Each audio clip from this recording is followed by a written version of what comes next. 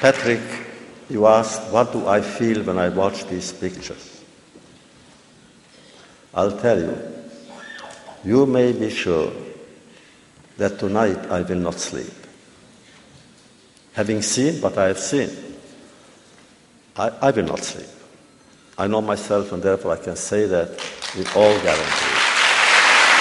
Then those colleagues and friends of mine who sit on the days, when we go back to America, let's meet. Just let's meet among ourselves and say, look, we have been the witnesses to the witnesses.